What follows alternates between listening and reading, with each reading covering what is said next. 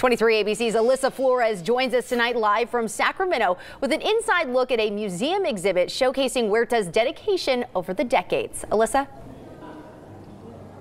Yeah, Jessica, today on her 89th birthday, Dolores Huerta is celebrating up here in Sacramento. She made her way all over town today, visiting local schools, visiting with students there. She spoke at a labor rights strike over at the UC Davis Medical Center, and she'll be celebrating her birthday later tonight right here at the California Museum. This is also where the Dolores Huerta Revolution in the Field uh, Museum exhibit is happening right now. It's bilingual, and it's been here since March. It's going to be here until July. It puts on display more than six decades of advocacy work by the Latina leader, starting with her fight for labor rights for farm workers, much of which happened in Kern County.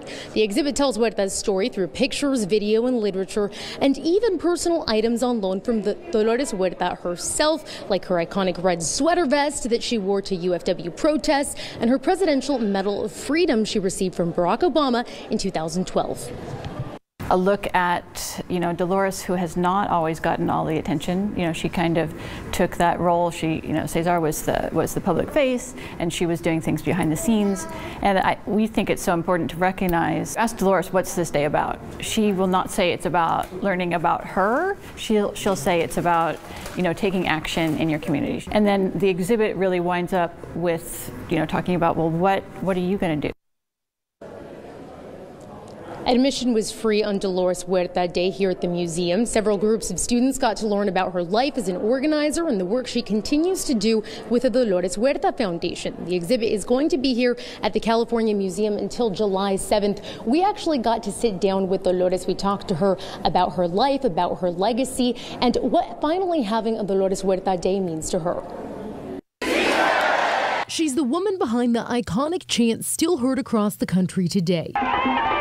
For decades, Dolores Huerta's life of activism has sparked change, but not without controversy. We had no choice. We had to keep on going forward. Co founder of the National Farm Workers Association, which would later become the United Farm Workers, Huerta worked alongside Cesar Chavez for the rights of farm workers throughout the country. Huerta says her passion for activism came early on. In my family, I think that was kind of a tradition that you, you had to be involved in the community. As a school teacher in Stockton, it was there that Huerta said she saw the impact educators could make. They can either inspire them or they can put them down. Which she says inspired her to change course. I saw that not all the teachers uh, felt the way that I did about the kids, especially the farmer children and the things that they needed. And uh, so that's kind of what motivated me to quit being a teacher and to become an organizer. She began with the Community Service Organization in the 50s, lobbying for changes in California for Latinos. Uh, we passed a law that uh, you could vote in Spanish that you could get your driver's license in Spanish. It was through that early activism work she met Cesar Chavez. At that point in time, when we started organizing, farm workers were only earning like 50 cents an hour.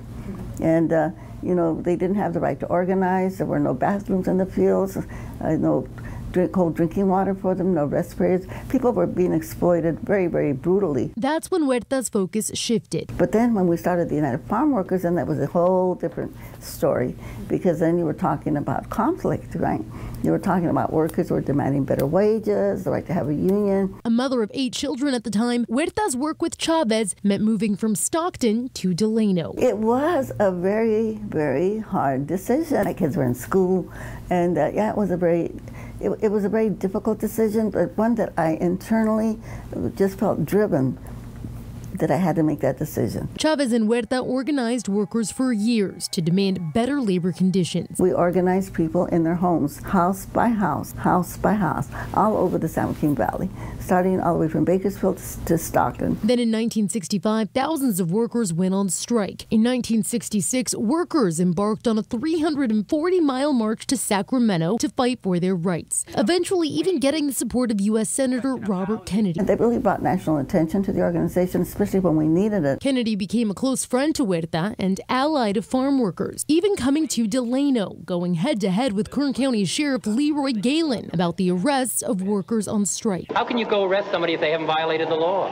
They're ready to violate the law. In other words, Huerta was by Kennedy's side in 1968, the night he claimed victory in the state's Democratic presidential primary, the same night he was killed. When we were coming down from the podium, he was supposed to come with me, and we were going into the ballroom while the farm workers were waiting for him. We had this great mariachi waiting for him, and instead, they said, No, Senator, come this way. Instead, Kennedy was taken through the hotel a different way, where he was assassinated. The thing that I felt guilty about was that he didn't have any security with him. It wasn't uh, just a tragic loss for the Farm Workers Union, it was a tragic loss for all of the United States of America and for all of the world. But Huerta and the farm workers continued on. And in 1970, the United Farm Workers reached contracts with growers, the first of their kind in the United States that ended the Great Boycott. It gave them a chance to negotiate with our employers uh, to negotiate for better wages, to negotiate for better working conditions. And then, of course, we had a medical plan for the workers. And I think that was the ultimate goal, is to be able to get the workers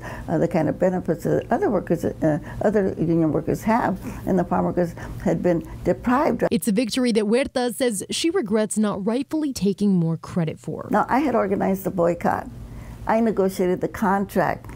But the day that it came to take our picture and the signing of the contracts, uh, I was sitting next to Cesar, and one of our vice presidents, Larry Itliong, came up to me and he said, uh, "Would you mind uh, if I sit there where you're sitting?" So I, got up and walked away and gave him my seat. And then when the pictures came out, I said, "Oh my God, I don't show up in any, any of those pictures. There are no women in that picture." Today, Huerta continues her work as an activist and organizer through a foundation of her own, the Dolores Huerta Foundation, advocating for women just part of the foundation's mission. I think us as women uh, sometimes we don't take credit for our leadership, and I, I, have been guilty of that myself. But we have to do that because uh, so many young women you know, they're in this kind of in the same space, and we have to teach them that they have to stand up and take credit for, for the work that they do. In recent years, the foundation spearheading controversial change in Kern County, filing a lawsuit to change Kern's Latino majority voting districts and changing school discipline policies that the Dolores Huerta Foundation claims discriminated towards black and Latino students. But Huerta says she hopes the legacy she'll be remembered for is helping people find their voice. I am an organizer,